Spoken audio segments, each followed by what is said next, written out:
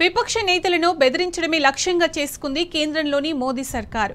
UPI హయాంలో ED బారిన పడ్డ విపక్ష నేతలు యాభై నాలుగు శాతం ఉండగా ఎన్డీఏ ఎనిమిదేళ్ళ పాలనలో ఈడీ టార్గెట్ చేసిన వారిలో తొంభై ఐదు శాతం ప్రతిపక్ష నేతలే ఉన్నారు. విపక్ష నేతలను బెదిరించేందుకు దర్యాప్తు సంస్థలను కేంద్రం ఉపయోగించడాన్ని మేధావులు తప్పుబడుతున్నారు.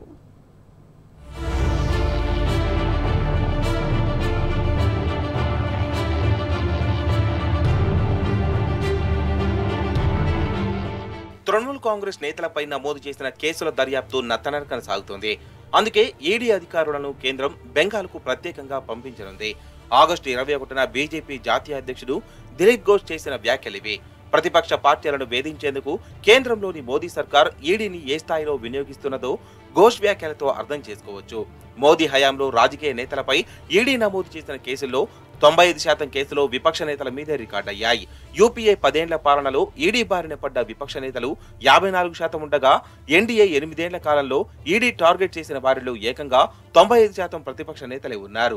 యూపీఏ పాలనలో ఈడీ ఇరవై ఆరు మంది ప్రముఖ నేతల నేరాలపై దర్యాప్తు నిర్వహించగా వారిలో పద్నాలుగు మంది విపక్ష నాయకులున్నారు. అందుకే ఎన్డీఏ పాలనలో ఈడీ నూట ఇరవై ఒక్క మంది రాజకీయ నాయకులపై దర్యాప్తు నిర్వహించగా వారిలో ఏకంగా నూట పదిహేను మంది విపక్ష నేతలే ఉన్నారు. మొత్తంగా మోదీ హయాంలో రాజకీయ నాయకులపై ఈడీ దాడులు నాలుగు రెట్లు పెరిగాయి.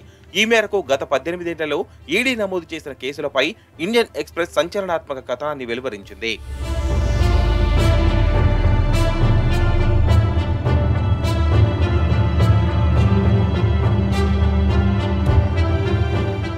ప్రతిపక్షంలో ఉన్నప్పుడు ఈడీ కేసులు ఎదుర్కొన్న వారు బీజేపీ తీర్థం పుచ్చుకోగానే కేసులు మరుగున పడిపోతున్నాయి. ప్రస్తుతం అసోం సీఎం హిమంత విశ్వశర్మ రెండు వేల పదిహేనులో కాంగ్రెస్లో ఉన్నప్పుడు శారదా చిట్ ఫండ్ స్కామ్లో ఈడీ ఆయనపై కేసు నమోదు చేసింది.